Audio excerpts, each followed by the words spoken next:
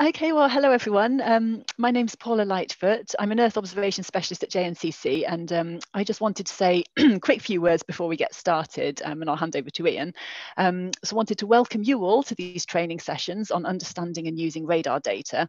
Um, this has proved really popular. We're absolutely delighted by the level of interest we've had, um, and I just wanted to say thank you to Professor Iain Woodhouse from Edinburgh University, who's running these training sessions for us. Iain has got a huge amount of experience and expertise expertise um, both in teaching and research and using radar data for many applications, I think with a particular interest in forestry. Um, and he also wrote the excellent textbook, Introduction to Microwave Remote Sensing, um, which we have got a link to that on our website. And if you want um, a copy or any more information, we can provide information about that during the course. Um, I'd like to thank our funders, the Caroline Herschel Framework Partnership Agreement on Copernicus user uptake, because they're the ones that made these training sessions possible. Um, this is part of a whole suite of projects going on at JNCC at the moment, um, all with the aim of increasing the use of Copernicus data and products for public sector environmental applications. Um, also wanted to mention we've got some guest speakers coming up, not today, but in the future sessions, and they'll be giving brief talks on how their organisations are using radar data. So um, I just want to say thank you in advance to them for doing that. We've got um, Crispin Hambidge from the Environment Agency, Helena Sykes from Natural Resources Wales, and Katie McPherson from the Marine Management Organisation. So thanks in advance to them. Um, a couple of housekeeping points. Um, as I said in my email, we are going, we are recording these sessions now, and we're going to make edited parts of it available, so just the lectures, and we won't be sharing participant names or personal details. Um, so we'd just like to ask you to keep your webcams off and your microphones muted during the lectures to avoid any distractions, and then we can switch on again for questions and discussion. Um, if you've got questions you want to ask, you can use the chat forum. I'll be monitoring that. Um, and a final point I just wanted to make, um, we have got a newly launched um, Slack workspace. It's a discussion forum for people using Sentinel-1 and 2 um, analysis-ready data. And I was thinking it could be good to use this to chat about any radar data topics that come up during this course or any of the um, data analysis that we're doing. So I will post a link in the chat about that sometime during the session. Um, any of you who are public sector environmental organisations, you're pre-approved to join, so it should be okay. Um, anyone else, just you'll need an invitation, so just drop me a message and I'll invite you as well. Um, okay, so I think that's everything I wanted to cover. If I think of anything else, I'll pop up at the end. Otherwise, I will um, hand over to Iain to start telling us about um, SAR data. Thank you, Iain. Great, thank you very much, Paula, for that introduction. Um, and thank you and JNCC for inviting me to, to come and give these uh, short lecture courses on, um, on radar remote sensing. So it is very much introducing synthetic aperture radar. We've got um, two sessions this week, two sessions next week. Um, so it is quite compressed. Um, I'll, I will try to pick out some of the, the feedback and the um, that we asked you to give in terms of the topics that you're interested in to try to pick up on, on some of them. But just quickly, in terms of um, sort of the rules rules of the game, uh, those of you who haven't been on Zoom before, you should be able to find the the hand up um, button on the uh, when you look at the participants list. Or if the question comes to you when I'm when I'm talking, you can put it into the chat, and we'll we'll either catch up with that when when I come to a natural break, or if it's something that looks urgent, um, Paula will keep an eye on it and she'll interrupt. Uh, the I don't mind um, people contacting me, dropping me an email if you've got other questions. Um, I can't promise to answer everything, but I can probably point you in the right direction to, to find something. And the, the key thing is, yeah, I can't always um, pay attention to, to hands going up and everything else. So i will be relying on Paula to, to sort of keep an eye out for that or, or questions in the chat. Also, if I if I keep looking off to the side, that's because I've got two two monitors here. So it's not me ignoring you or, or checking my emails. It's it's just because I'm I'm some either the Zoom information for uh, all you participants, or I'm looking at the, uh, my next slide.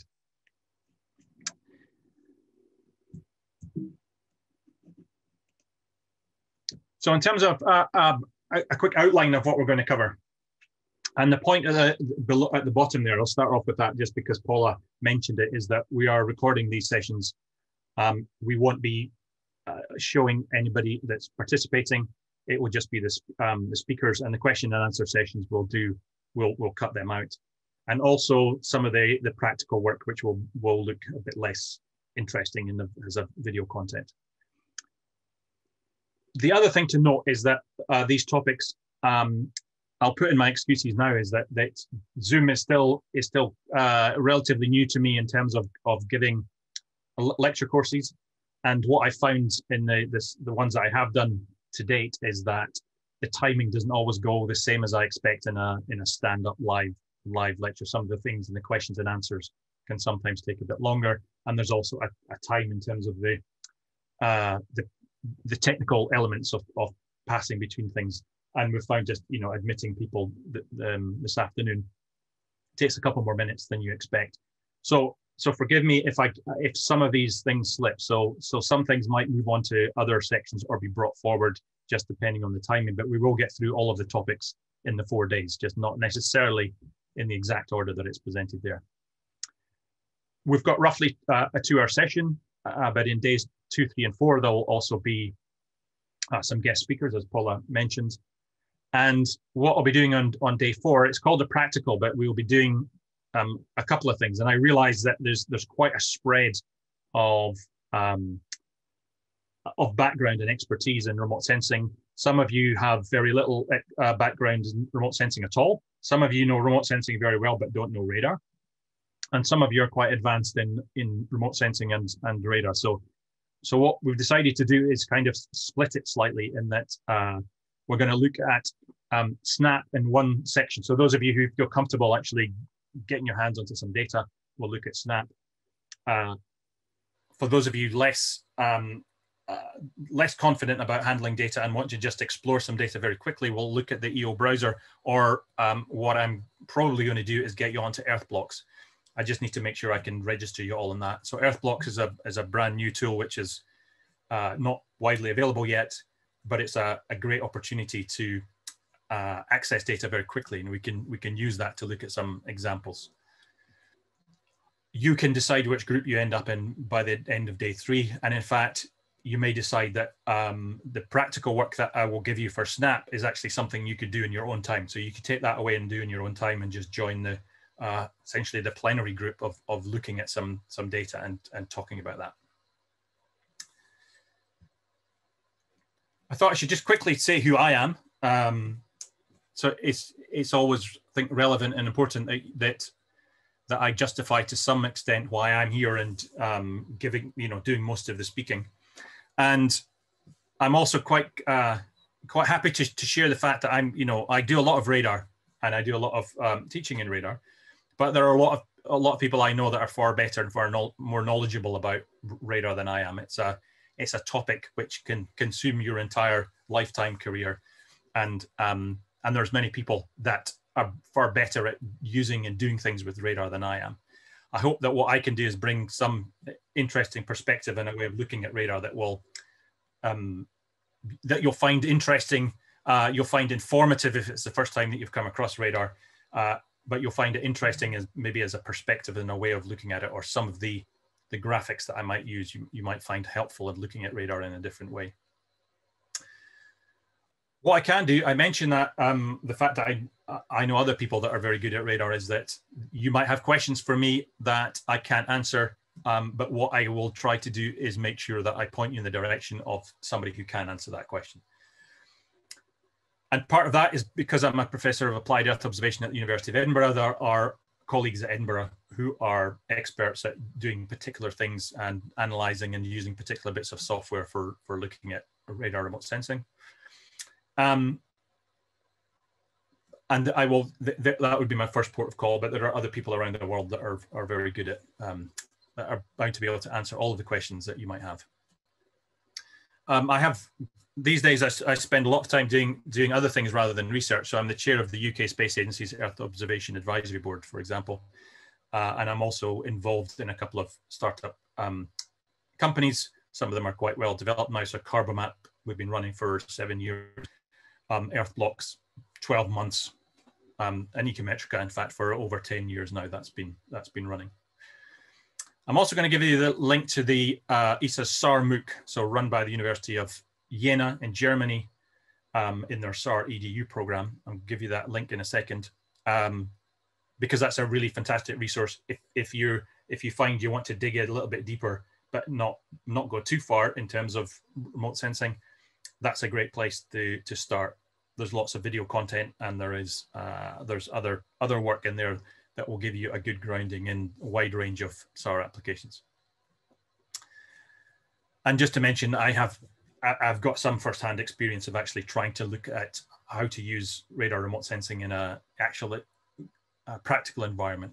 So projects for, for ESA and the Scottish Government and the Space Applications Catapult, and then also more recently on the IPP projects, international partnership projects run by the UK Space Agency. Um, but a lot of the work I do is actually is is based in Malawi, where radar has some has real potential advantages there. But Edinburgh, so this is um, I'm not quite, I'm, I'm away off in the distance in the far right-hand side on the horizon is where I'm physically based just now. So I'm, I'm at home. Uh, this looks like some library with the books behind the real actual books, but I'm, um, it's actually really just an extended shoe cupboard. But this is, this is where I am. And I realize that everybody else is in unusual in different places and at home and in bedrooms and in cupboards and, and one or two of you might even be into the office.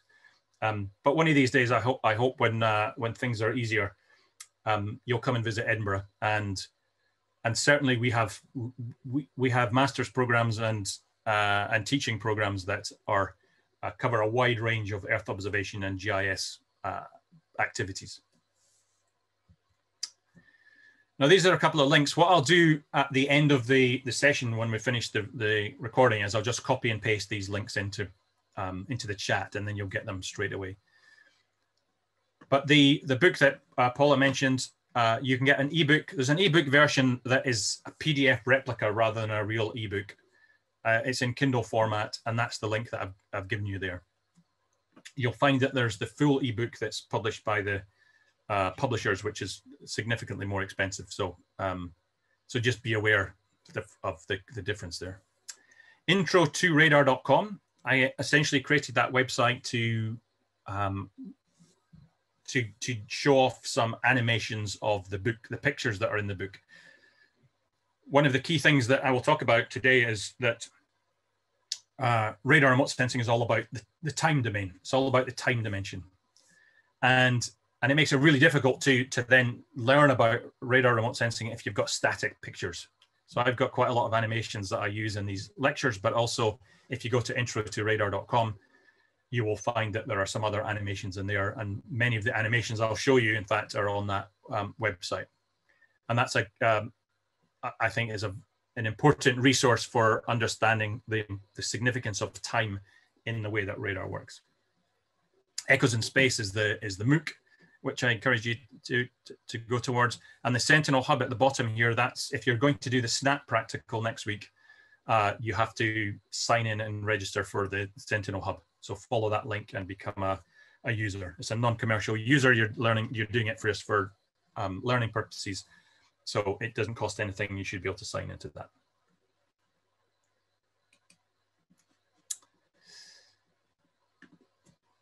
that. so today, what I'm, what I'm doing today is the, is the history, some of the fundamentals, uh, talking about the properties of waves. And the, this is my first animation this is the the key thing. If you take nothing away from the the lectures that I'm presenting to you these over these two weeks, this is the one graphic that I want to just have you stick in your head. And let me just make sure that um, the graphic makes sense in the first place. So up here at the top is our antenna. And it's on a satellite or an aircraft. And what I want you to imagine is that we're, we're, you're flying into the board. So the direction of travel is, is into the screen. So perpendicular to the screen and we're, we're looking side on. So the point directly below the satellite is down here. That's your, your standard nadir. So if you're an optical system, you're looking straight down with a camera and you're looking at the ground down here. This dark area down the bottom, this is our ground surface. And what we're going to do with the um, a radar system is that unlike an optical system, we're, what we're going to do is we're going to look obliquely. And if you send out a radar signal obliquely, the echoes coming back from targets along the ground record a signal that is approximately in proportion to the distance along the ground. So this axis of time at the top here, that's the raw measurement that the radar is going to measure. It's just measuring the time delay of the echoes coming back. But that time is approximately in proportion to the distance along the ground. There's an angle we have to take into account here, and we're making a big assumption about the ground being flat. And that's these are some of the things that we're going to look at over the next couple of weeks. So this is this is the important diagram. And if I'm going to stop it, whoops, try and stop it midway.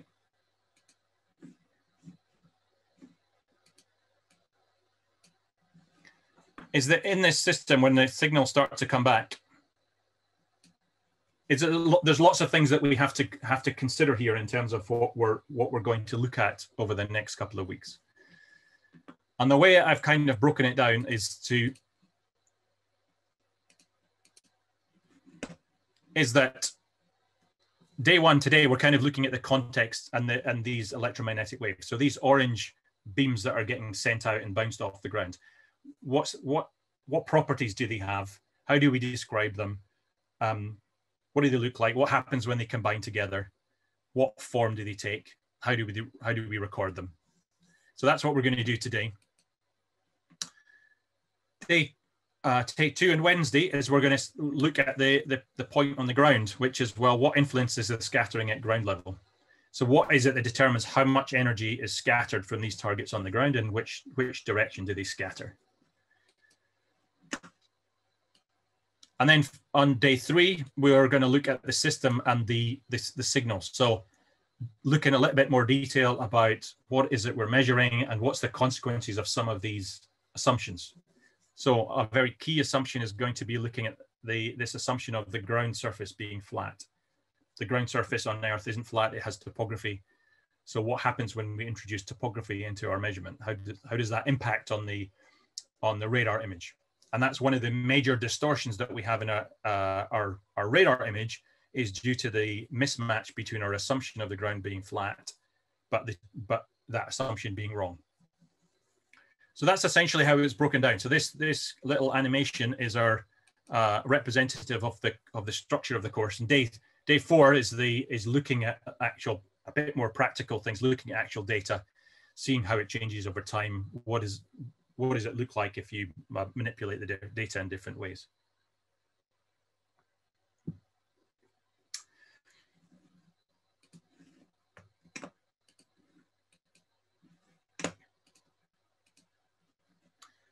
And one of the things, if we just look at a, an image of uh, this is Guadeloupe in um, in the Caribbean, and the image on the left is the kind of data that you'll see if you start working with Snap and actually downloading your own data and looking at it.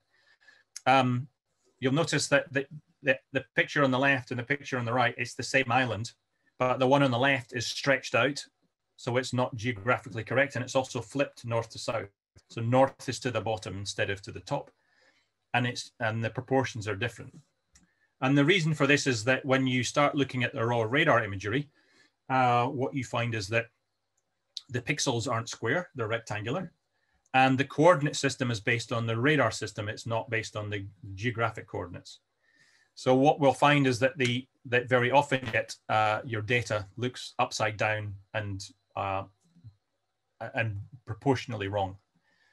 You'll also see that these mountains on the on the left here, if I just identify them, is that they they look like they are uh, almost like they're leaning over. And so this is part of the the distortion because of the assumption of the, the flat ground underneath. And what we really want to do is get to a point. You'll notice that on the the image, it's been it's been corrected.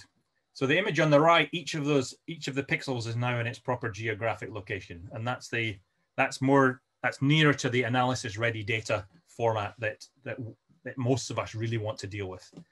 So most of us kind of want to ignore what's going on over here and we want to just stick to the uh, analysis ready data type format. Pixel is in its right location and is uh, geographically correct. Now I'm going to, I think it's important and some of the things that I'm going to talk about over the, the next couple of weeks is about what happens over um, in this process going from the left to right here. And that's important because if you want to understand the kinds of errors, the problems, the issues that are, um, the, the weird things that turn up in your analysis ready data image, if you know where it came from, you'll you'll be in a better position to make judgments on the quality and the, the reason for some of the, the weird things that you might see in the data. So many of you, a few of you, when, um, when you do the SNAP practical, actually learn how to do this um, process. For the majority of, um, of you, I think what you're interested just to know is what are the steps that have to be gone through to get from the left to the right so that you can make better judgments and interpretation of the analysis ready data. And that's, that's essentially what my, my ambition is over the next couple of weeks is to give you that at least even if you can't actually do it yourself, at least have enough knowledge to realize where it's coming from. And one of the one of the steps that we have to really understand is that each pixel in our uh, in our radar image is is capturing the actual wave. So I've got I've got my set of waves here. So if you can see my my the picture of me and my my video cam, is that that's a wave that's almost about the the to scale um, the size of a wave that the Sentinel One radar system uses. Okay, so it's it's about that kind of um, scale in terms of wavelength. The amplitude, um, we it's difficult to to visualize what that would be in, but in terms of wavelength.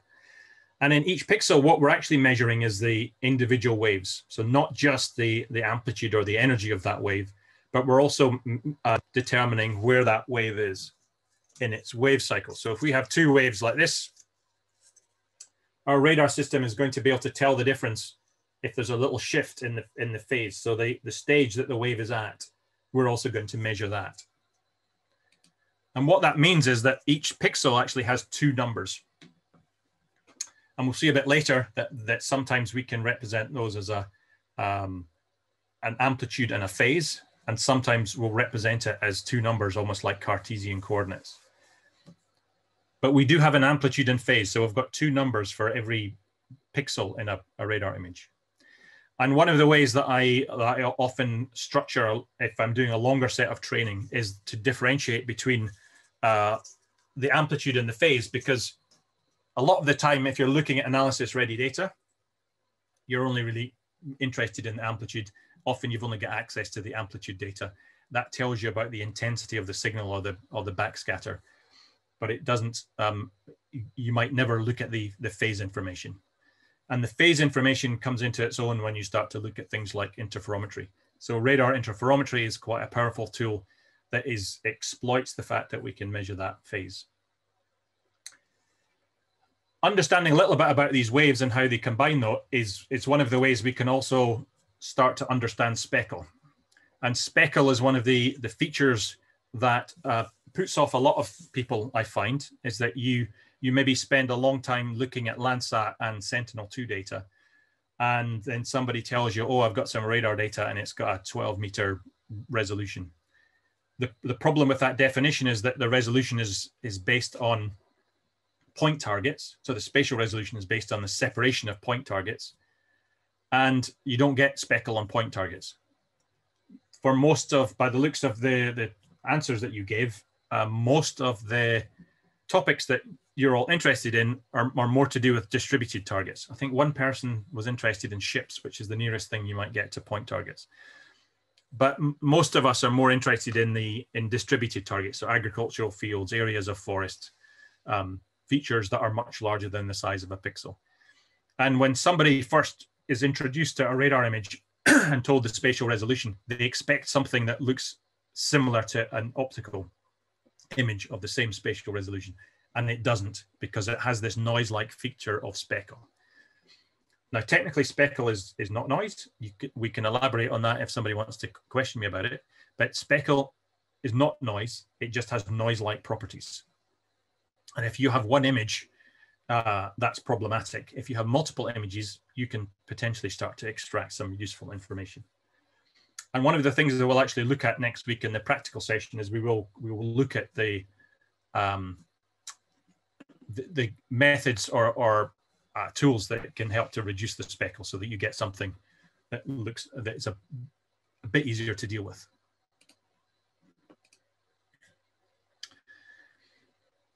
Right, so I'm going to give you, um, what I said was in the first session is I'm going to give you a little bit of a history of, of radar. And I think that's important. What I've said here is changing your incorrect understanding of the history of remote sensing. Uh, that's my provocative statement um, based on the fact that of, well, it's based on looking at many introductory remote sensing textbooks and having gone to some lectures as a student about introducing remote sensing. And the, the challenge there is that they they always cover the same topics. There's always very focused on uh, uh, on the development of the camera photographic film into optical scanners. And in fact, none of that might ever have been developed and it would have had no impact whatsoever on the history of radar remote sensing. So radar remote sensing is entirely different. It has no heritage in cameras. It has no heritage in, in the development of photographic film.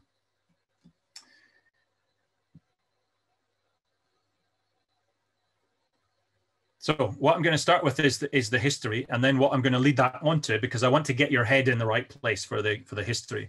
I'm going to lead that into looking at the fundamentals of what a wave is and how we quantify it, how we record it, how we describe it. Uh, I want to introduce you to the idea of polarization, and I've got um I've got some little polarized filters here that I'm going to show you a couple of things um, just to get you thinking about polarization. I'm going to touch a little bit on the combination of waves, so the um, what's called interference. So what happens when multiple waves combine? And if we've got some time, this might shift on to Wednesday um, at the rate I'm going, is that there's some core principles that I want you to make sure that you're very comfortable with. So decibels, complex numbers, radians. Not because you necessarily have to go away and use all these, but you will come across them. You'll come across them in the literature. You'll come across them in software that ask you options and it's important that you've you've got at least some basic understanding of, of these topics.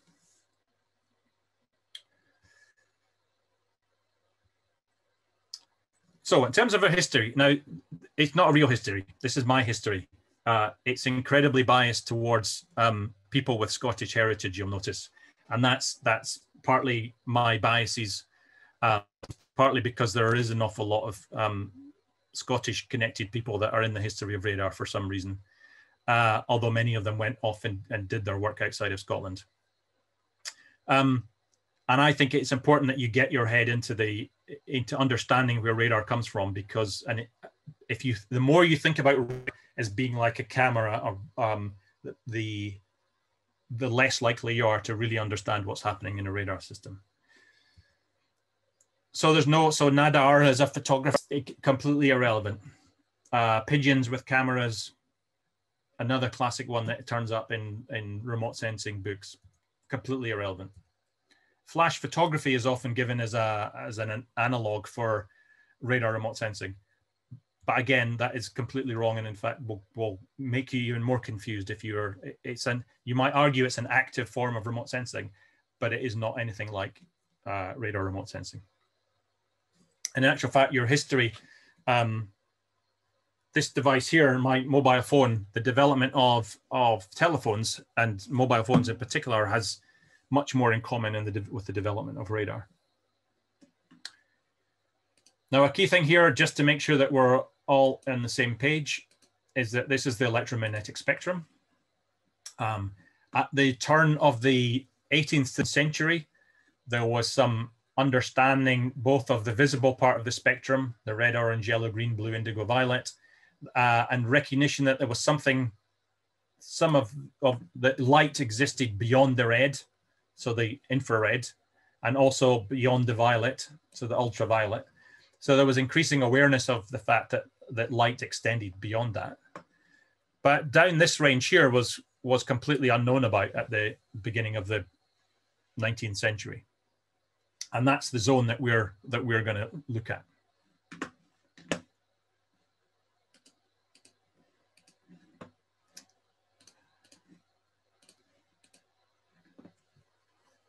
Now, one of the key things about being down at that part of the electromagnetic spectrum is that clouds have no impact whatsoever. it's one of the things that are that is often cited as being a key advantage of synthetic aperture radar. I, I would argue that it's it is an advantage, but it's not the key advantage. The key advantage is you're making measurements uh, that are on a completely different scale. You're making measurements that are sensitive to uh, properties of objects that are on this kind of scale. So you're making a different measurement. It's a bonus and an extra feature that we can see through the clouds, and therefore we're guaranteed as soon as a radar system turns on its uh, its radar imager, we are guaranteed to get an image, and that's that's potentially ad, well, it is very advantageous, and it's why the Sentinel One system is able to collect essentially global data every within every couple of weeks. The reason for that is because if you look at the transmission through the atmosphere, so this is, um, well, this is absorption through the atmosphere. So when this graph gets high, the electromagnetic radiation is absorbed. When it's low, uh, it's transparent. And so these two areas here in the visible part of the spectrum and over into the microwave part of the spectrum, these are the two major windows where the atmosphere the, has the least impact. And the other advantage for us is that the that clouds also they impact drops significantly. significantly. So in the microwave domain, we have got a clear transmission through the atmosphere and through clouds. Heavy rain has a little bit more impact, um, but in terms of cloud cover, it's generally, uh, it, it's not a problem.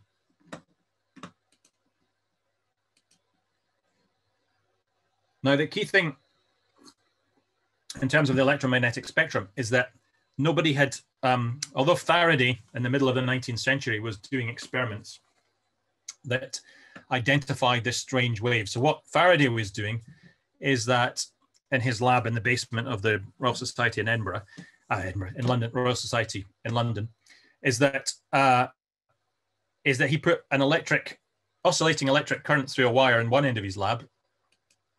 So that current was going back and forth, back and forth. And what he found was that if you put a wire in the other end of the laboratory, that would actually respond and generate a current as well. So the electrons seem to move. If you move the electrons in the wire over on the left here, is that somehow, and what he thought of as an electric field traveling as a wave would stimulate the electrons in that, that other piece of wire. So you had a way of transmitting these, these strange electric fields from one location to another location it was James Clerk Maxwell that, that took Faraday's experiments and managed to put them together into a theoretical explanation for what was happening.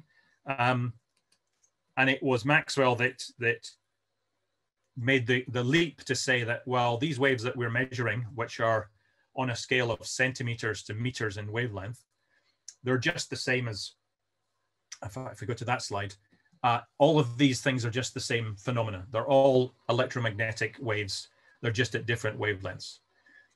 So being able to link that optical part of the, the visible part of the spectrum and the microwave part of the spectrum and saying they're just the same thing. It's just slightly varying properties such as the frequency and wavelength, but essentially it's the same phenomena. And that was a huge leap in terms of our understanding of the um, electromagnetic radiation. And the key thing was also this um, through Faraday and Maxwell's work is, is characterizing it as a wave. And we'll look a bit later in terms of how we characterize that wave. And the fact that if you've got a, a, a transverse wave like this, is that so that's that's a wave like your if you've got a long rope a long long skipping rope and you start putting a wave into it that's the longitudinal uh, a transverse wave which you can oscillate up and down or you can oscillate side to side. And so you can have waves that are like this or we can have waves that are like that and that's the difference between vertical and horizontal polarization. So we'll look at that a little bit later also. Now these particular waves and the waves across the electromagnetic spectrum, uh, they all have a velocity of about three times 10 to the eight meters per second. We use lowercase c to represent the, the speed of light. Uh, the speed of light is constant in a vacuum, but as it goes through a medium, it might slow down a little bit. For imaging radar, that's not significant, but in other types of radar, like altimeters, it actually it slows it down sufficiently that you have to take that into account to make your um, measurements. The wavelengths that we're looking at is on a scale of millimeters to meters. but it's also important just to note the, the frequency range that we're, we're in here. So that's about hundreds of megahertz to tens of gigahertz. And the uh, one of the, the interesting things to note here is that the radar people are very keen on, on using things that are much more related to, to time. So you'll, you'll notice that in the radar literature and radar people will often talk about the frequency of the wave rather than the wavelength. I try to mix between the two because, because if you're interested in what happens at the target, it's easier to think about the, the scale of the, the wavelength, so the, um, the scale of the wave, so the wavelength, in terms of how it interacts with the target. Whereas engine, uh, radar engineers and radar scientists, because they're always thinking in the time domain, I think that's the reason why they always like to talk about uh, the frequency. So they're talking about the um, five gigahertz for the Sentinel-1, and they'll talk about hundreds of megahertz as the bandwidth. And the because uh, time is inherent in that, whereas a wavelength is a static measure, so time isn't inherent in that. And one of the other properties is this idea of phase. So the technical term in terms of phase, we're going to look at um, some nice graphics to help understand that. But phase is the difference between those two waves. As I move, the both these waves have both got the same wavelength, they've both got the same amplitude. But if I move them like that, they have a slightly different phase. So the stage they're at in their wave cycle is different. That's what the phase relates to. Now, another important um, figure, and this is a this is always an interesting one. Put your let's let's get some audience participation here. So if you go down to the the section with the um, I can't remember what it's called now, but the sort of emotive responses. I'm going to ask you three three places where Alexander Graham Bell came from, and put your put your thumb up if you ag agree with the one that I'm going to say. So put your thumb up if um, if you think he uh, if you think Alexander Graham Bell is Scottish. Oh, quite a lot. That's interesting. Ooh, many. Put your thumbs up if you think he's uh, American.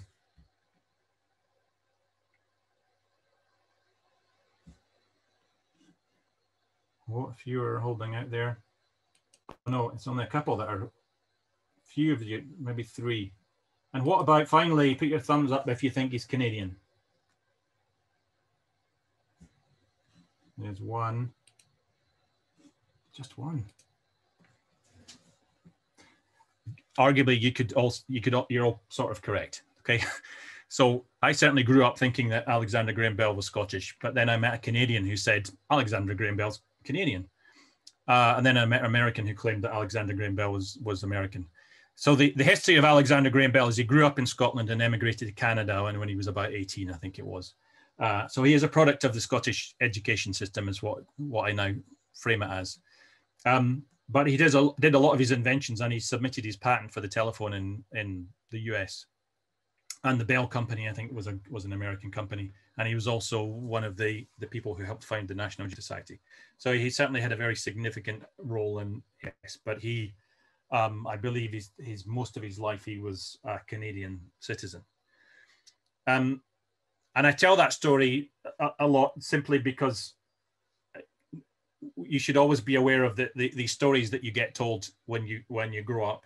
Um, that sometimes they have an element of truth in them, and sometimes they've been they've been flavored in a particular way. It's like the invention of the television, um, where John Logie Baird, another um, Scot, in Scotland, we were brought up to think that John Logie Baird invented the television. Um, but if you go to the Museum of American History in Washington, D.C., it will have a big section on the American person that invented television. Uh, and there's also a Russian that claims to invent television. And very often, any of these technologies are a combination of lots of people doing small steps. The key thing that Alexander Graham Bell is, is in history is because he got to the patent office first, and he recorded the first patent for the for the. Um, but rarely is an invention a, uh, a product of a single single person. Now, why is Alexander Graham Bell significant for radar? Well, the key reason is that a lot of the early development of electrical engineering, that is the, the basis of what we do in radar, uh, is rooted in the history of telephony. So it's to do with building telephones and communication systems and tr transmitting waves across the Atlantic. Is that uh, the technology and the history of radar is is very much rooted in the, in that context. And one of the things that we find as a consequence of that that we can't escape from is that we you'll find that radar people use decibels a lot. Um, now, decibels is not a unit. Decibel, a decibel is a scaling factor. So it allows you to scale the uh, the quantity of interest. You can you're scaling it ref, with reference to a reference quantity, but you can always make that reference quantity equal to one, and therefore it's the the logarithm to the base ten of the number that you're interested in times ten. I've never managed to to determine why it's a decibel because um, the deci bit comes from the factor of 10. So log to the base 10 of the subject, that, the value that you're interested in is a bell, and it's a decibel because it's got a 10 in front of it. And this is used very often in the, in the way that we scale data and we look at data in our, in our radar context. And the bell, the unit of a, um, a bell is, is named after Alexander Graham Bell. So as an aside, if you want to have a, um, because we'll take a, a, short comfort break on the hour, uh, go and go and write down a list of SI units, and you'll find that the, some of them are capitalized and some of them are not capitalized. The difference between the two is that uh, capitalized units tend to be named after somebody. So Watts, for example, is a capital W and it's named after James Watt.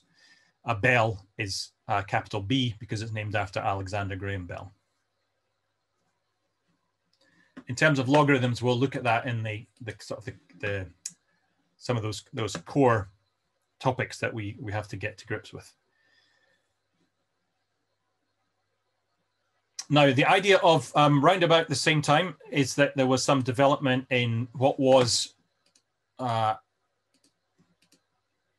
a fairly basic idea of echolocation is that one of the ways in which a ship ships crossing the North Atlantic would look out for icebergs is that you just make a loud noise like a foghorn, or you um, you have some some way of generating a loud noise. If you're out in the North Atlantic and you get an echo back, then it's either another ship, but you would hope that other ship had lights on so that you would be able to uh, see it as another ship. And this is in the dark we're talking about here. Um, if it's not another ship, it's probably an iceberg. And so that's a fairly basic intro to, to the, the use of echolocation. So the idea that you're trying to pick up um, pick up the echo of a, of a signal, and that's the, the, the, the basis of your measurement.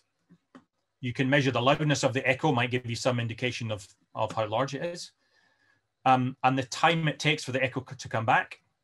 You, you know roughly the speed of sound.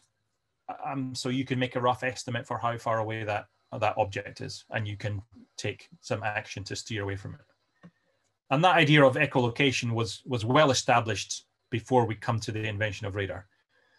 And in fact, uh, this person, um, so Marconi, Marconi famous for being the first um, person to transmit a radio signal across the Atlantic, is that he also came up with an idea of the same principle of echolocation, but instead of using uh, sound waves, he used the these new radio waves that they were using to transmit communication signals. So his his proposal round about the turn of the century, so around about 1900, was that well we could send out one of these radio signals, and it would bounce off a ship, and then we could detect the signal coming back, and we'd be able to tell how far away ships are from from port, from harbor. So you would send out a signal, and you would get echoes back from these ships. Now, one of the one of the challenges here, and the way that I've drawn this animation, is you can't tell the direction to these ships. All you can tell is how far away they are. So you can determine the distance to your target, but you can't tell which direction it's coming in. And this is the fundamental difference of radar remote sensing compared to optical remote sensing. Optical remote sensing uses angles. It measures the direction really, really well but it doesn't measure range very well. It doesn't it has an ambiguity of range. You can use stereo by using two systems together, but one optical system on its own can't measure range. Angles, definitely yes, but not range. Radar, on the other hand, is fantastically good at doing range, but can't measure angles. So it can it can get uh, in terms of this animation, it can get these ranges very accurately, but it can't tell the difference between the top ship and the bottom ship because they're coming at different angles. Now we won't have time to delve into it uh, uh, in this course, but that's the basis of what we do with radar interferometry is that we actually start to use the phase information to help us determine the angles of the, the signals coming back as well as the range. And so if you have a direction and a range, you can locate things in their, their proper location.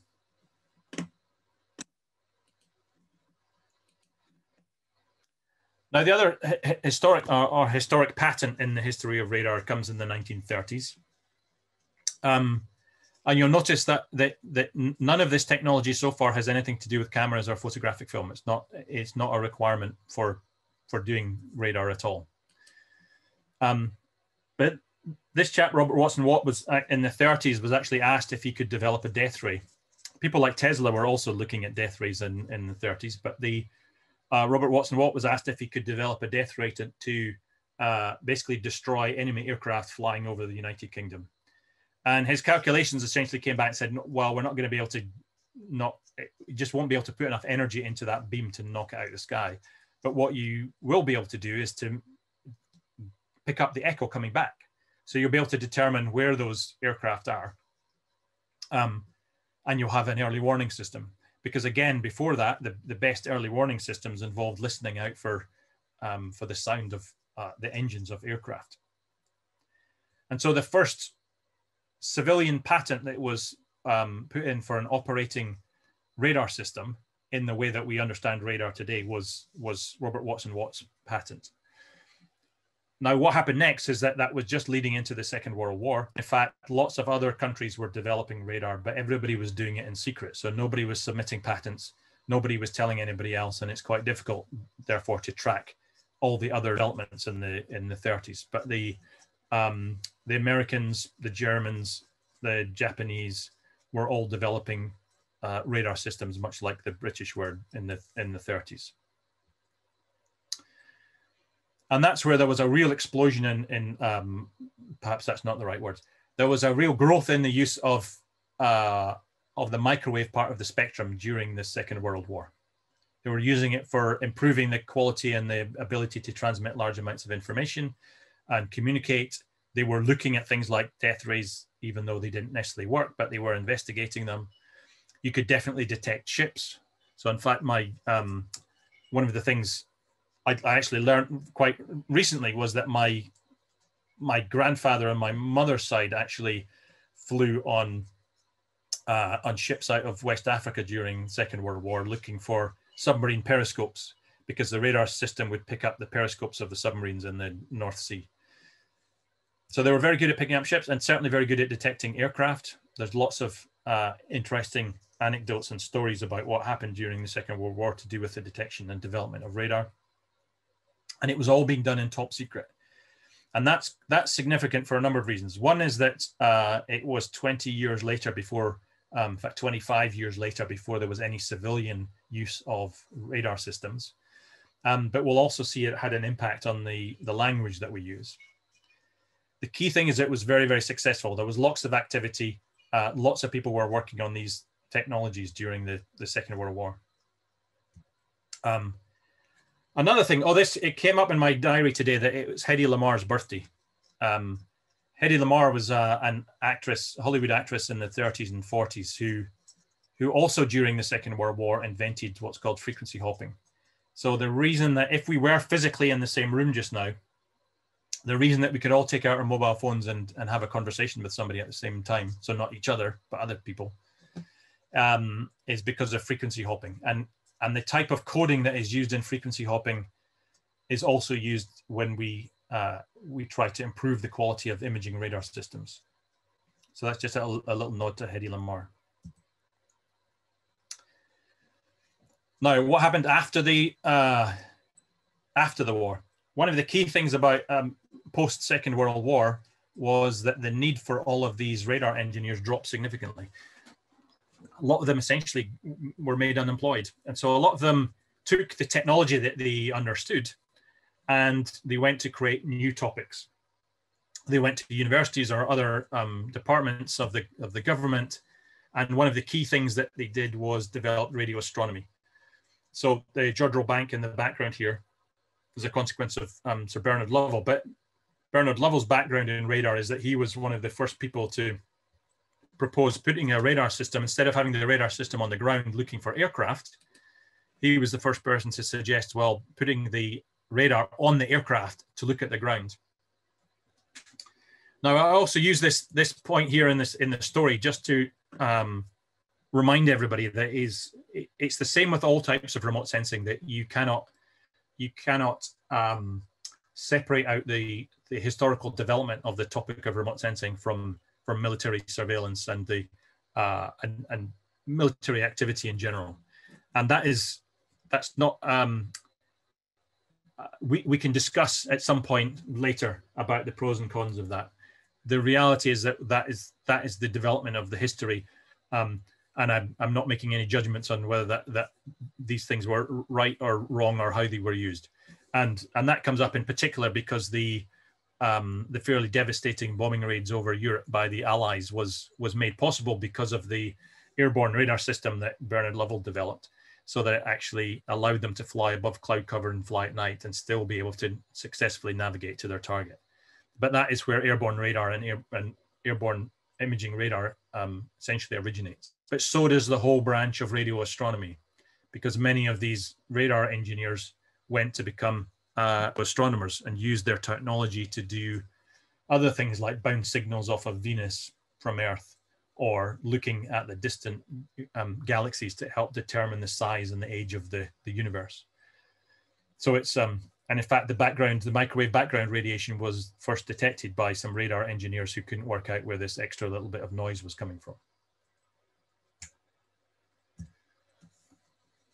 Now, all this was happening in secret until 1967. So that was the point at which the um, there was the first civilian release of imaging radar, and it was in the Darien province in Panama, where cloud consistent cloud cover had meant that they'd never been able to map inland using aerial photography. And so this was the first time that they'd had an extensive um, mapping campaign into the this part of Panama. But what it did was it, it released um, imaging radar into the public domain. Now, one of the other consequences about all this develop, you know, the a very long multi-decadal development of radar in the um, in the secrecy of the military context was that we have inherited the, the labeling that was developed during the Second World War. So whether you're looking at the frequency range or the wavelength range here, these are the, the radar bands that we refer to. Now I've, I've lumped together all the K bands because uh, typically for the types of remote sensing we're doing in this, uh, in this course, we don't typically use the K bands, but we will look at X, C, S, L, and P data.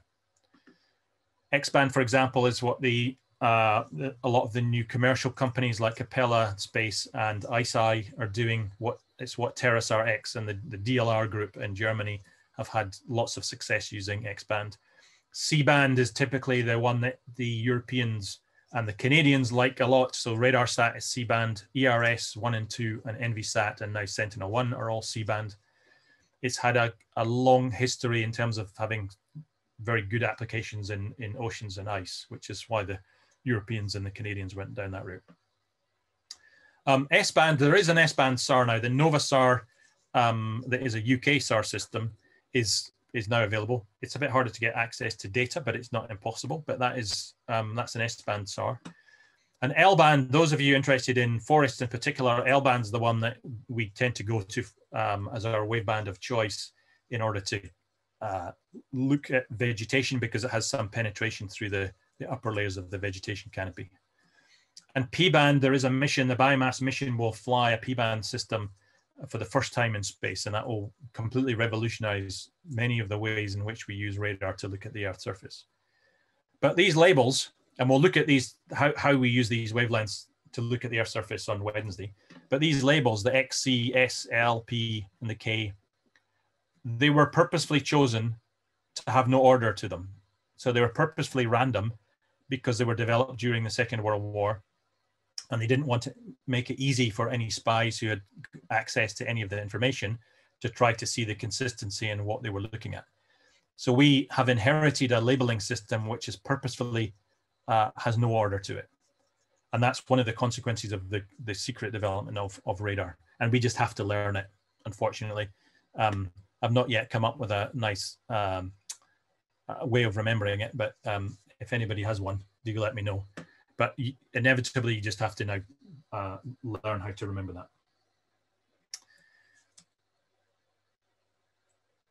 Now, what um, what I'm going to suggest is that we just take a, a, small comfort break, not least of all because it means it just gives my voice a rest and it gives me a chance to catch up if there's been any questions being typed into the, the chat. So I'm going to come out of the sharing.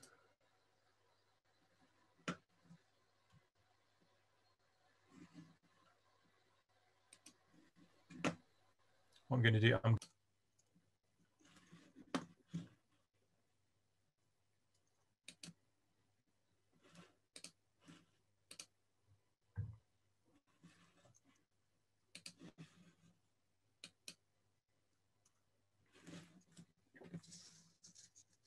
And I'll answer that question about phase um, shortly.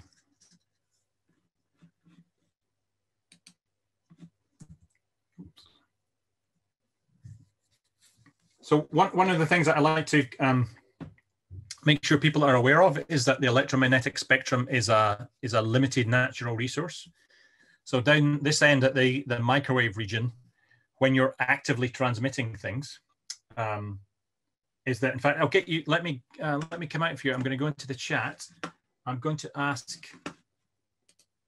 I'm going to ask you to type into the chat as many things as you can think of that use that are in the microwave or radio part of the spectrum. Okay, so what else? So radar systems use use the microwave and radio part of the spectrum, but what else uses the that part of the spectrum? So if you've got an example, put it into the chat.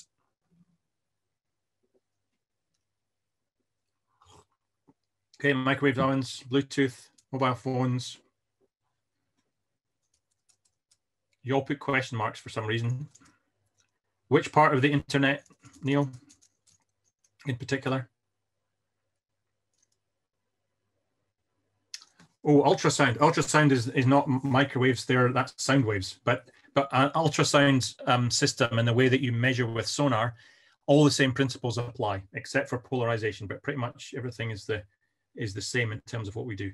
But radio stations, Wi-Fi, um, MRIs, it's maybe slightly different.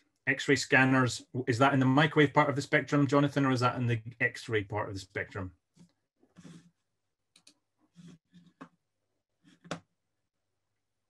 GPS, yes, very good. Television, um, the radio astronomers are trying to use that part of the electromagnetic spectrum is that there is, um, well, let's just have a quick look. Who else is sharing?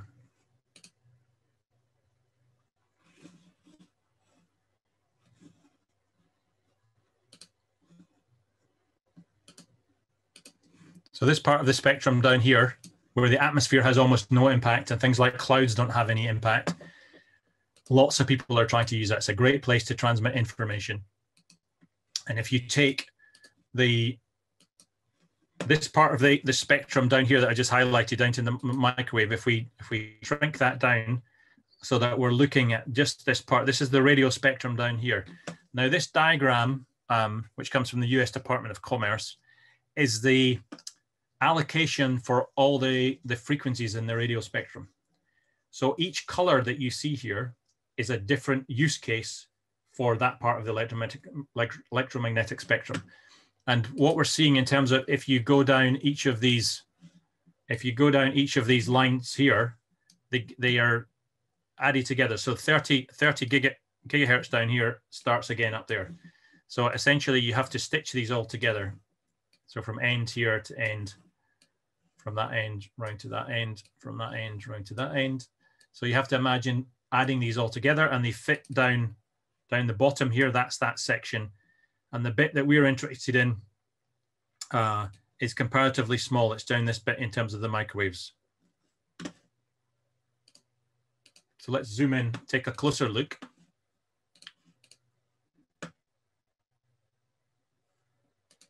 So you can see some of the things. Now this, uh, this sort of, there's a yellow, there's a yellow there, but there's a brighter yellow here. The slightly darker yellow is the radio location. So that's, that's our, these, the brighter, slightly brighter yellow is the radio astronomers. And the radio astronomers really want to make sure that there is absolute silence in those, um, uh, in those particular frequency ranges. So you'll see that in the radio astronomy band, this, this one here, in the middle, it's actually Earth exploration satellites, passive, and space research, passive. So actually each of those three allocation uses here are all systems that are just listening. So in that particular band of frequencies, nobody is allowed to transmit any microwaves. Remember that radio astronomy is trying to be so sensitive that it is trying to pick up something of the energy of a light bulb at the distance of Saturn right? It's very, very low signals that they're trying to pick up. So they can't afford to have any stray signals at all. So some of these bands here like that and all this radio astronomy stuff here, we can't use that for, for radar. Um, the ones that are allocated for mobile, that's the um, mobile satellites. There's, there'll be um, satellite television will be in here somewhere. There'll be mobile phones are in here. There's GPS that will be in here. There's space research. Um, there's uh, what else have we got? Aerial radio navigation. So there is a huge um, number of users of the electromagnetic spectrum, and the radio bands, the bands that we can use for radio location, are well defined. So these bands that we that we get to use have a fairly limited scope. We can't just use any wavelength across the entire microwave part of the spectrum. That is going to be particularly problematic when you look at some systems. So the biomass mission, for example, and one of the things we'll look at next week when we look at some real data, um, we'll see some of the interference that we get from some of these signals. Because it may be that in the radio location that we're we happen to pick up stray signals from other things, some of some of which are never actually declared. Okay, and they are typically military installations that are using some kind of surface to air radar system. And uh, they don't always tell the International Tele, um, Telecommunications Union that they've actually got it and at what wavelength they're transmitting at. So it is uh, it is a very busy space in terms of this part of the electromagnetic spectrum. It's not quiet. It's got um, and that potentially introduces uh, challenges for us in terms of the the limit to where in the spectrum that we can measure.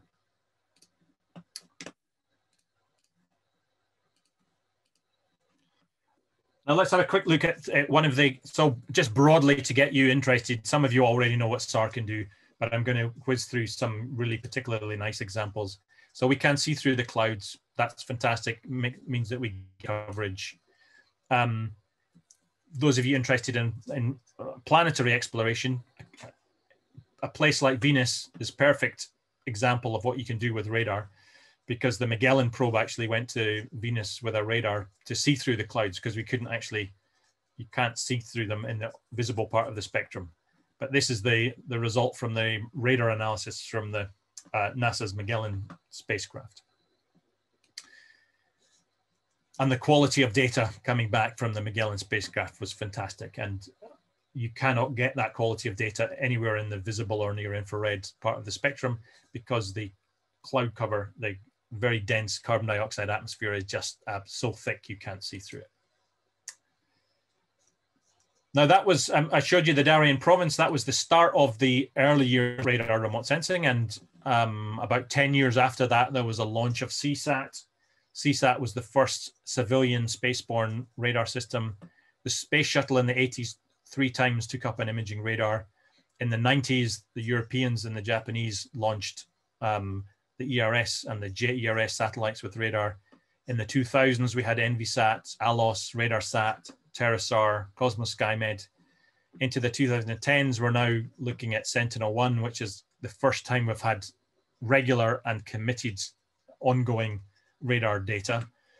We've got continued ALOS and RadarSat 2, Argentinian SAOCOM, uh, Finland has has the new commercial company flying very small, low cost radars with ICEYE.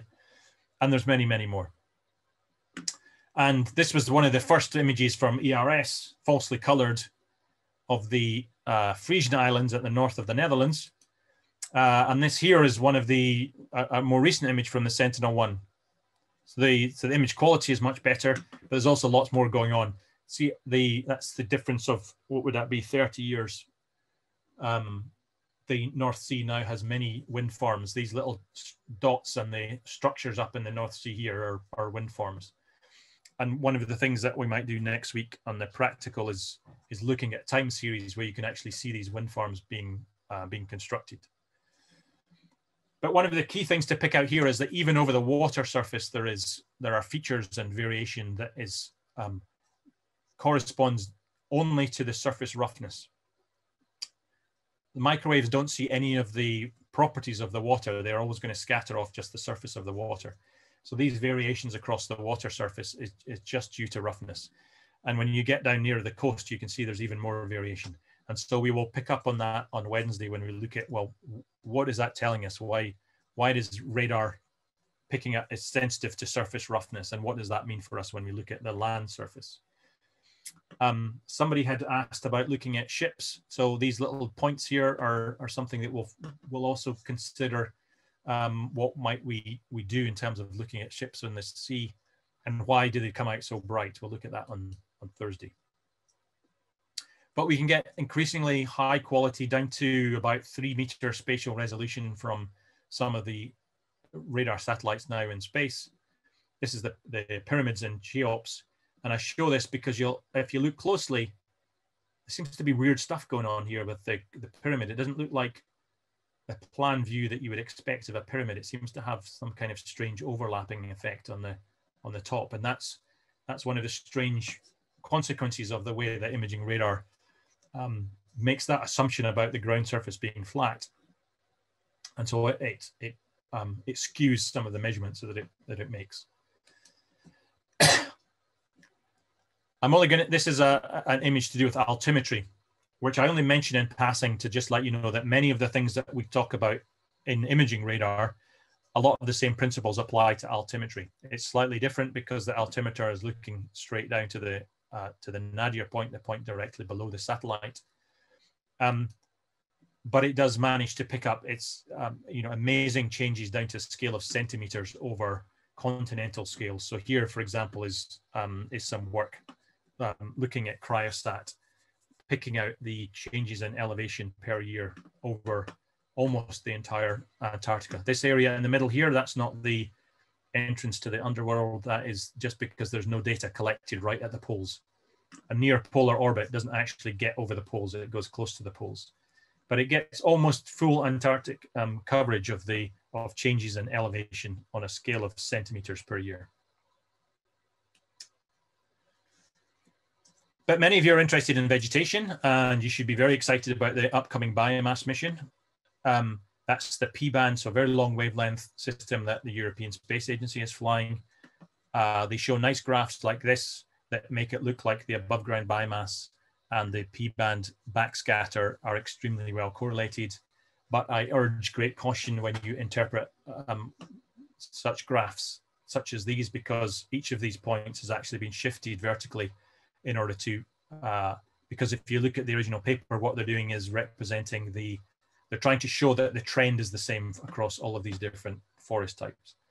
And one of the things I'll talk about in particular on Wednesday is how do we interpret the, the return, the backscatter return over, uh, over forest and other types of vegetation. We'll look at that in more detail on Wednesday. But it is very topical because the biomass mission will, will bring us new data that will help in that context. And also applying very interesting techniques such as polarimetric interferometry, which seems to be much better at estimating the forest biomass rather than just using the intensity of the signal on its own. Still experimental, but is part of the, the core mission objectives within the biomass mission, and especially in the, in the tropics. Interferometric SAR has been used to now produce many um, well, you've got a choice now of at least two different global data sets of elevation. Um, the SRTM data, which is now available at 30 meters, is available for the entire planet. The um, although right at the very high latitudes, um, it doesn't, it, it's filled in by other data. Um, but the TanDEM-X mission has been, it's, which is a, a, using interferometry from two satellites that are flying in parallel to each other. That's a commercial product, which you can get some examples of for looking at uh, uh, experimental things, but if you want it operationally, you have to pay for it. And interferometry has been used now very regularly and it is, is a consistent part of geophysics now for looking at ground motion.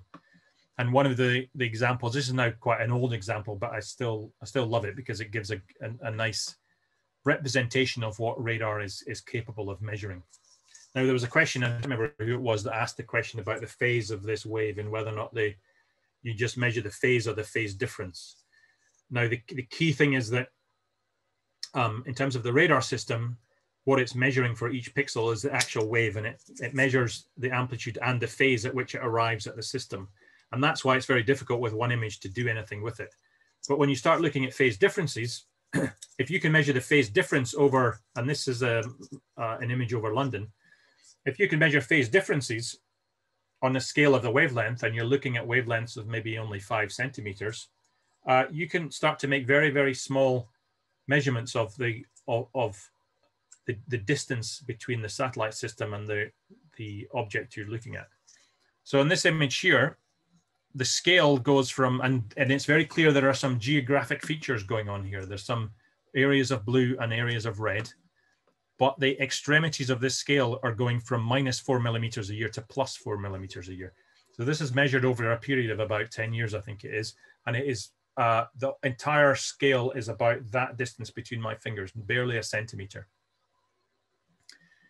The explanation for what's happening here is that it's certainly been claimed that some of these red lines on the western part of London are actually picking up an extension to the underground line. Because remember, this is only four millimeters a year, so it's only that much. It's it's not as it, it is within, you know, the tolerances you might expect if you tunnel underneath a city.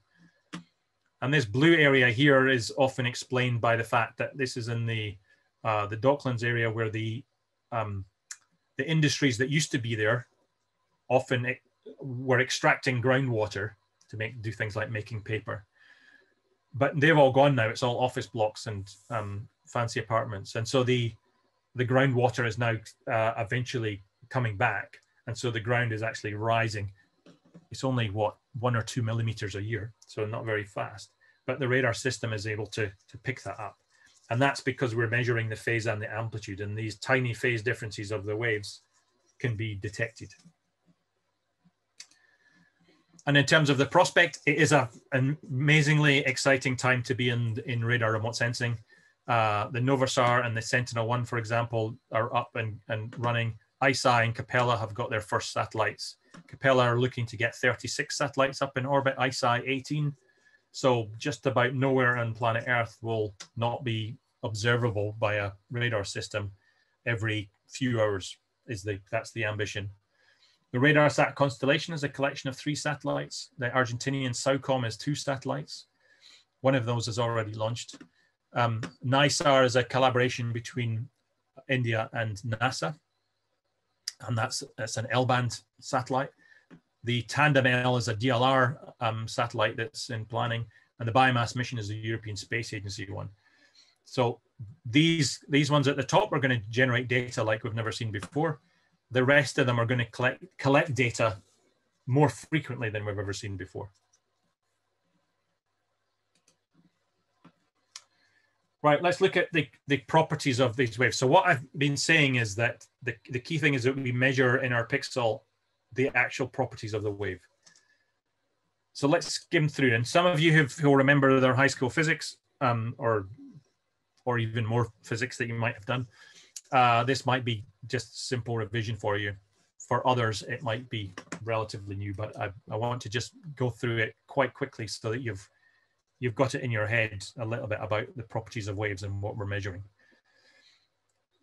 But electromagnetic radiation, it's a time varying, so it's oscillating electric field and magnetic fields.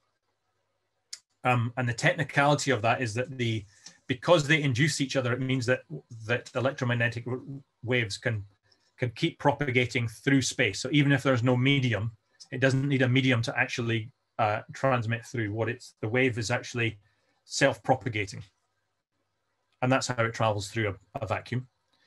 So you don't actually need, need any matter.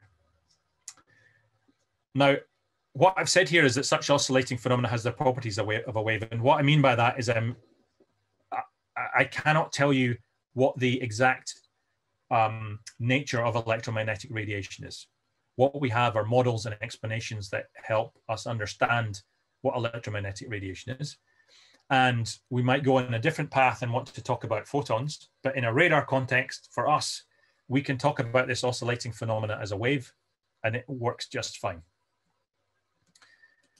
Now, it has wave-like properties and a sinusoidal function or a cosinusoidal function also has those same types of properties. So for mathematical simplicity, we're just going to use the sinusoidal function as a way to describe the uh, our wave. And a wave like this has an amplitude A, and you'll notice that the amplitude is from the, the z-axis to the, the total height. It's not from maximum to minimum. The fact that we use a z-axis here, not the x-axis, is because later on, um, when we look at polarization, I want to look at this plane and I want to have the x-axis coming out of the screen. So I've got an x and a y here and the z in the direction of travel. So don't be upset by the fact that I've not used x and y, I've used z and y. It's, it's all the same, it's still just two Cartesian coordinates. The wavelength is the distance over which it repeats itself. And we're going to use a sine function. The difference between a sine function and a cosine function is that the uh, the phase of the wave, so the stage the wave is at is, is different, but the shape of the function is the same. Sine function is just slightly easier because it starts at zero, zero. You'll also notice that I've done this instead of zero to 360 degrees, I've done this in radians. So zero to pi to two pi. We'll talk about, um, in fact, I'll do that the looks of the timing, I'll do that at the beginning of Wednesday's lecture.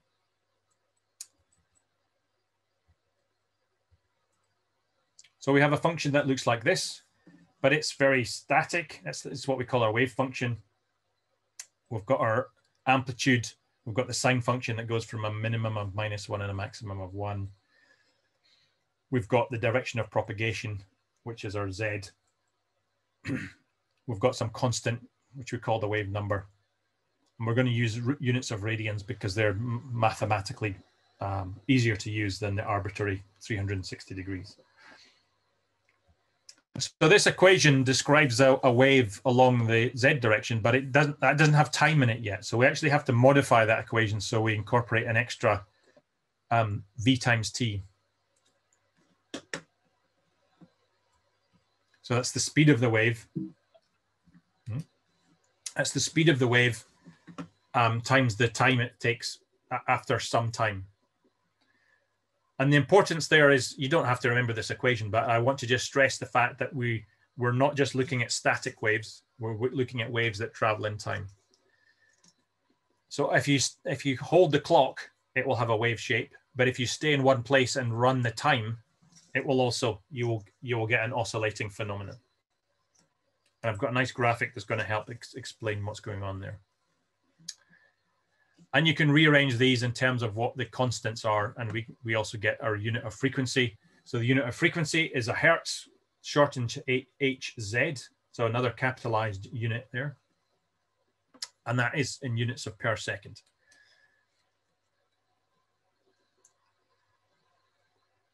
Now let me show you this this little this little diagram is a classic di diagram that um, is very difficult to understand if it's static and much easier to understand if it's animated. So I'm going to animate that in a second. But what I wanted to show you here is that if you do your trigonometry, and I was doing this just with my son last night with his maths homework, is that if we've got our angle, in this case phi, is that the sine function of phi is equal to the opposite, which is the length of this vector as I've drawn it here. So that's the amplitude A.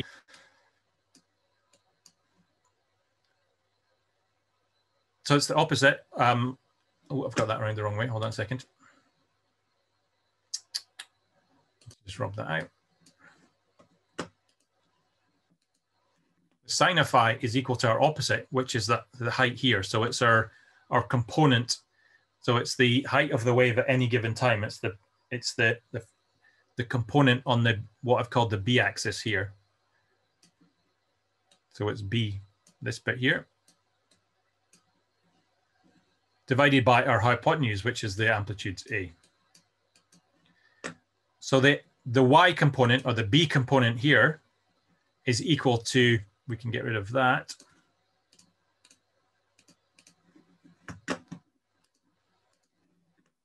It's a times sine theta, which is a pro or sine phi, which is approximately the function that we had already established for the shape of our wave. Now, what's the significance of this? This looks rather complicated. What I'm trying to do is to show you that instead of drawing waves, we can instead, we can draw vectors. Okay, so this vector here can represent a particular wave. So this vector represents this wave. And I can color code them.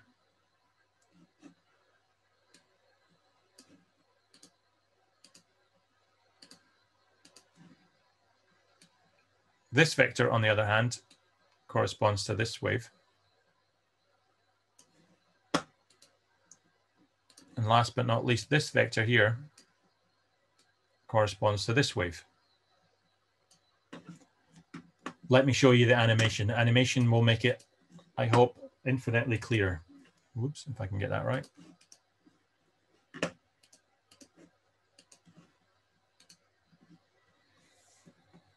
So what you're seeing here is that the we're plotting the y-axis component along this line and we're rotating this vector. So as this vector goes round and round this circle, it maps out an oscillating function that goes up and down these this axis here. So it goes up. And what it's doing is it's just oscillating back and forth and creating this wave shape. Now I introduce you to this idea because what it means is that any we don't have to, we don't have to draw waves anymore. Waves at different phases can be represented just by the length of this vector. And we can have different vectors pointing in different directions that represent the different phases and the length of the vector represents the amplitude of our wave. Now the speed by which the wave is traveling, well, all our waves travel at the same speed. They're all traveling at the speed of light. So actually we don't even have to rotate these vectors anymore. What we can do is just represent, instead of drawing any waves, we're going to represent each of our waves with a vector.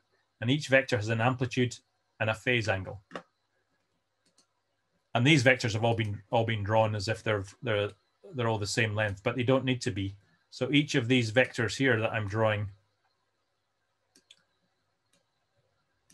they each have a different amplitude and they have a different angle from the, so each of them, you can measure a different angle for each of them. And they represent different waves all at different phases. And one of the, the things is that we can now use that later on, that when we're, we're talking about adding together, for example, we can just add these vectors. We don't have to draw lots of waves and try to add them. And it's a convenient way to, to um, think about what those waves are but more than that, it also helps to show what each of what our pixel of each of our radar system is actually measuring is that for each pixel, we've got an amplitude and a phase measure. So essentially each pixel is a vector. If you remember that image I showed right at the beginning, it had the two numbers for each pixel. Well, those two numbers can be a, an X coordinate and a Y coordinate, or they can be an amplitude and an angle. So a, a direction and a, a length. So it's polar coordinates versus Cartesian coordinates. And what you'll find if you start looking at SNAP next week is that you can actually look at, at these two channels um, in these co co Cartesian coordinates, or you can look at the amplitude and the phase angle. You can look at them either way.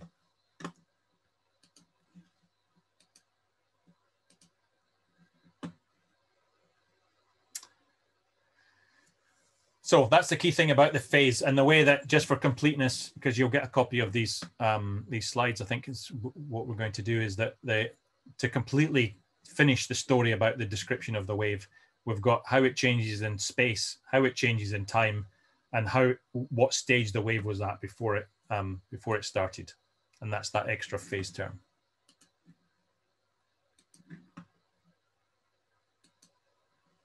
And just to show you the animation of what that means in terms of having two different waves, is that these two vectors now, as a static wave, so I can let it play for a bit, but um,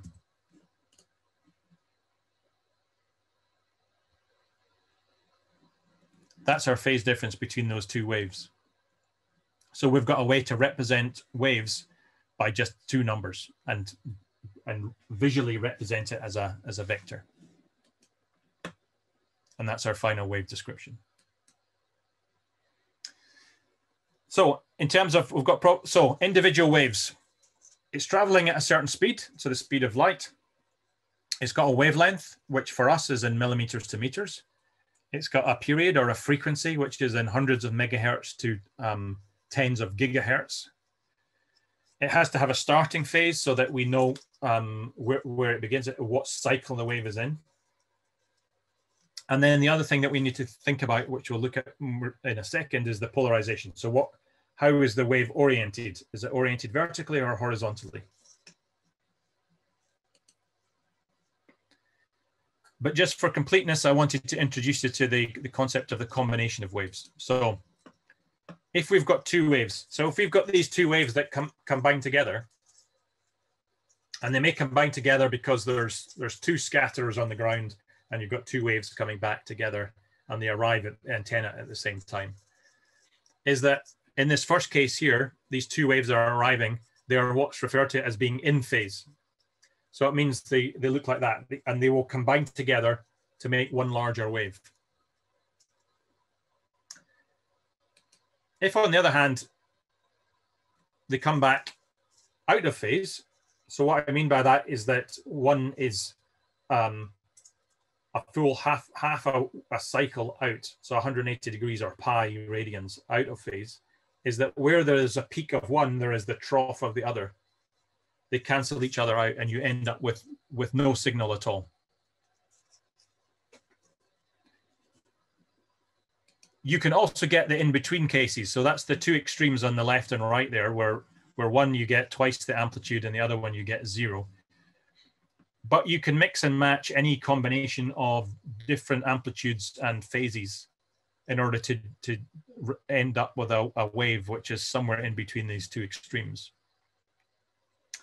And this is one way in which you should think about why you get speckle, is that when you get scattering from the Earth's surface, occasionally, because you've got lots of scatterers within a pixel, is that occasionally these waves will come combine together and there'll be more than two. There'll be, uh, you know, thousands within a pixel is that when they combine together in constructive ways, they can give a very bright signal. Um, but very often they're combining against each other in such a way that they cancel each other out. And often it's somewhere in between, but you can get variation across all these extremes. And that's why a radar image starts to look uh, speckly because you have all these different waves coming back from the surface and they're combining together in, in different ways. and that's problematic because they're combining together, not because, because you notice that these waves all have the same amplitude. So the average energy that we're looking for um, is, isn't represented in the final, the final uh, measurement. So one of the things that we have to do is to find a way to average over lots of different measurements.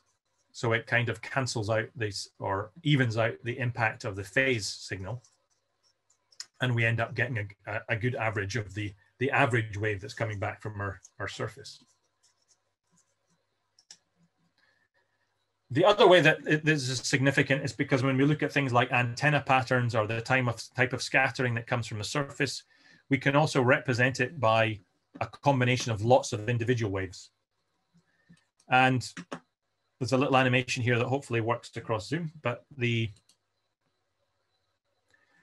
these are two little transmitters. So these two circles on the left here are transmitting a wave.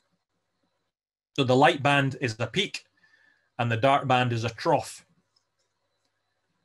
And you'll notice that these two um, systems here are generating rings of waves.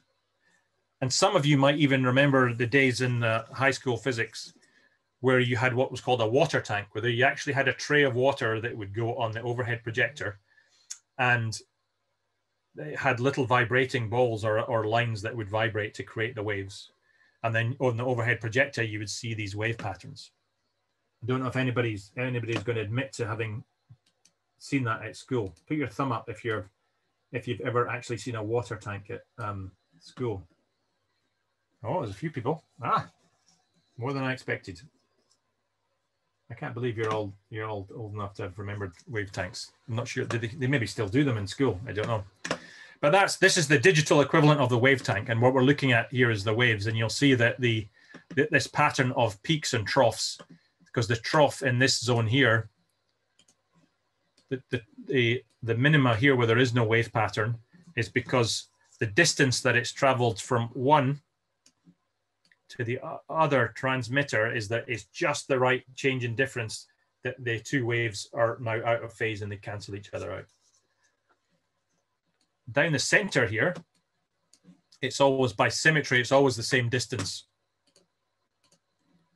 So down the center line, it's always the same distance from this one and that one is always going to be the same distance. So the waves always arrive they're always in phase and they're always combining together to give a peak.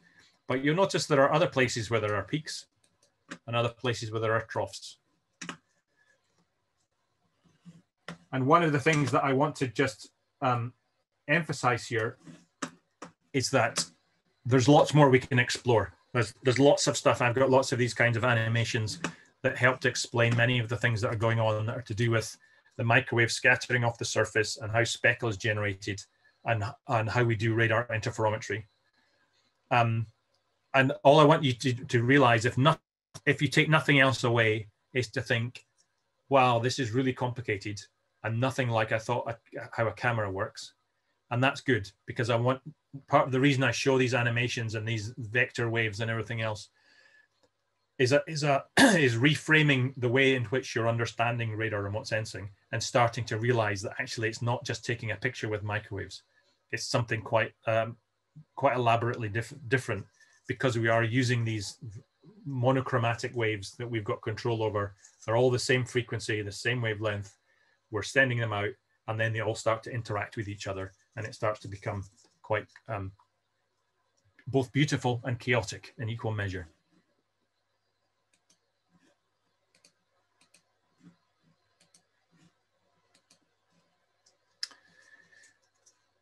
Now, let me look a, a, little bit more about polarization. Okay, so this is, and, and the key here is this, this is my wave. And if it's being transmitted to you, what I'm interested in is what's going on in, in the plane of my antenna. Okay, and the, the, the basic idea of polarization is that you've, or the polarization that we'll mostly be, um, get involved with in a Sentinel-1 data context is either vertical or horizontal waves we can transmit and receive uh, in any radar system vertical and horizontal waves. But typically, in order to reduce costs and to maximize how many pulses that we can send out, because that's a, a key feature when we um, when you're trying to build a, a, an imaging imaging radar, is that most of the regular data collected by satellite radar will only transmit one polarization. So Sentinel-1 for most of the land surfaces only transmits vertical. It then listens for vertical coming back, vertical echoes, but it also listens for horizontal echoes coming back because listening and picking up passively the echoes coming back, that doesn't take any extra energy. It doesn't um, waste uh, valuable time in terms of transmitting extra pulses. It's the transmission which is the is the problem part of that in the very high latitudes, so any of you out there that's interested in the cryosphere, for example, the polar regions for Sentinel actually sends out horizontal, it transmits horizontal, and it receives listens out for the horizontal coming back, but also listens out for vertical coming back. And the the nature of, of objects on the Earth's surface is that it, it changes the polarization. It can twist it or turn it and make the polarization slightly different. So you might transmit a vertical wave, but the object might actually end up returning something that is um, like that. So polarized at an angle, say 45 degrees. If it's at 45 degrees, it actually has a horizontal component that you would measure when you were looking just for horizontal. But if you're looking just for vertical, you would also pick up a bit of vertical motion there as well. And so it's, um, there is features on the ground surface that will change the polarization. And that's why we detect the, both the, what's called the copole, so transmit one and receive that same polarization, or the cross pole, where you transmit one polarization and receive the other polarization. It's a whole nother two hour lecture to go into this sort of full aspect of polarimetry so let's not do that, but um, let's just look a little bit more about uh, polarization. This is just another um, image sort of representing the, or showing you the difference between the vertical and horizontal polarization. Now, one of the ways that we can think of these little blue antennas here is that uh, that we can be trans that can be a transmitter, but it could also be a detector. So in terms of what it is you're um, detecting, you're detecting the vertical or the, or the horizontal. And in terms of, um, oh yeah, I'm going to do a little uh, demonstration in a second just to get you interested in, in polarization. One of the things about um, sticky tape, does anybody, anybody, so here's two questions, because there might be some amateur photographers out there that have a polarizing filter for their camera. So if you have a polarizing filter for your camera or you have some polarized sunglasses and you have them to hand, uh, put your put your thumb up.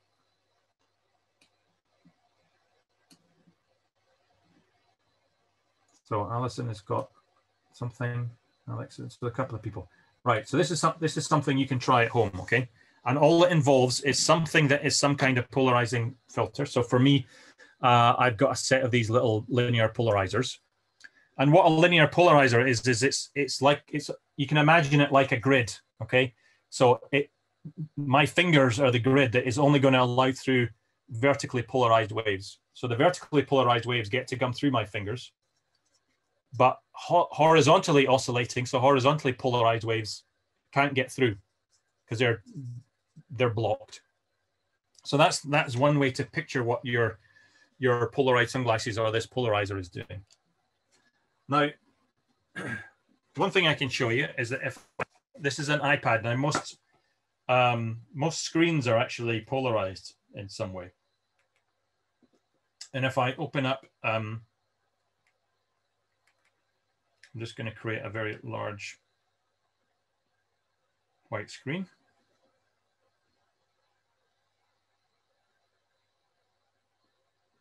If I stand up, okay, and I'm going to show you this. Um, in fact, let me come out of this slide so that you can see it in, in full glory.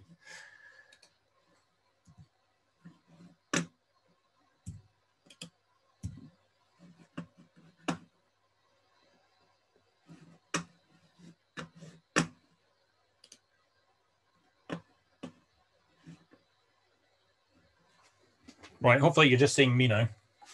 And this is a, um, a screen. I'll turn this light off just for a second.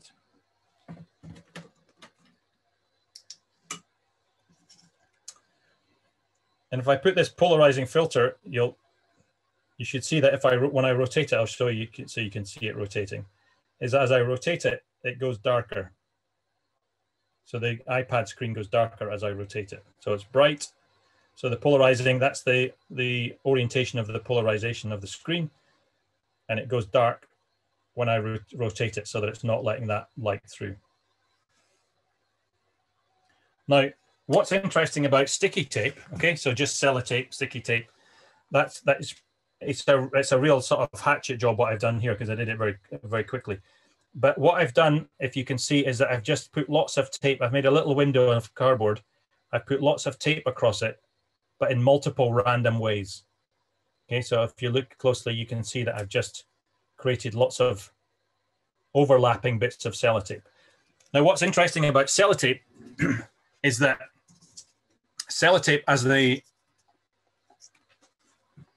as waves come through the sellotape, it actually twists the polarization. So if polarized waves come in one side, the sellotape actually twists it.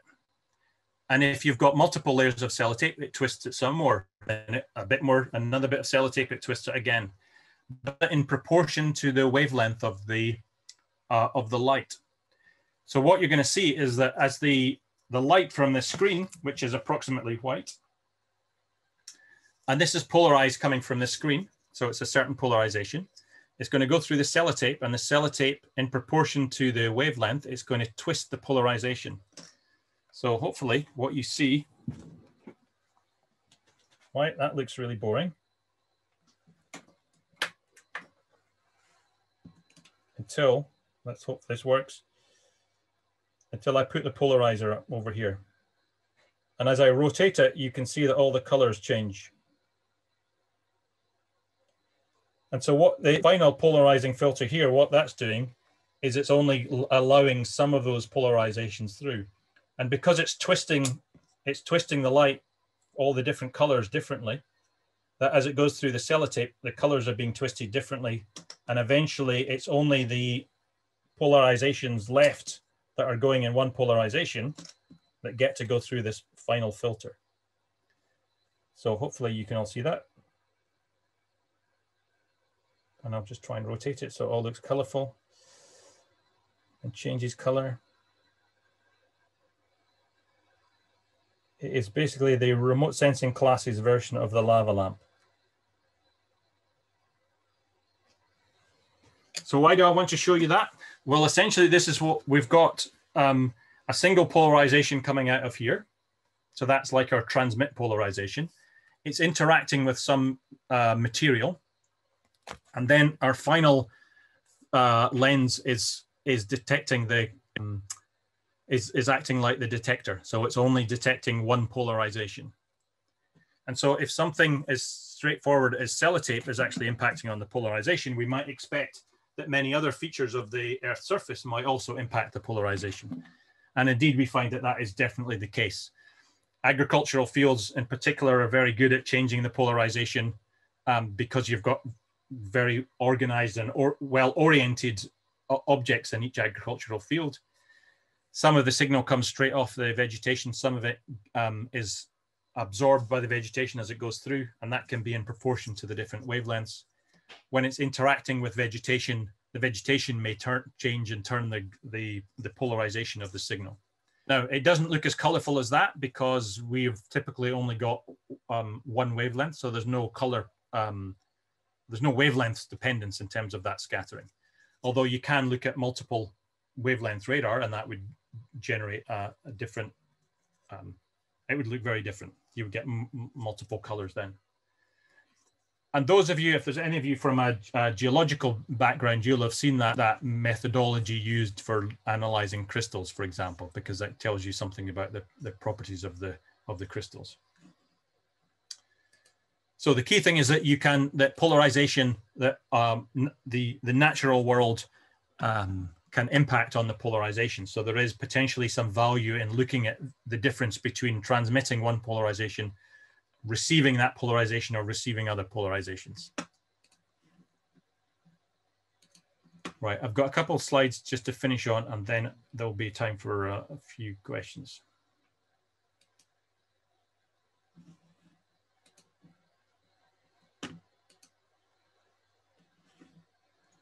What I wanted to show you in these last few slides was just to relate that back to the, the instrumentation.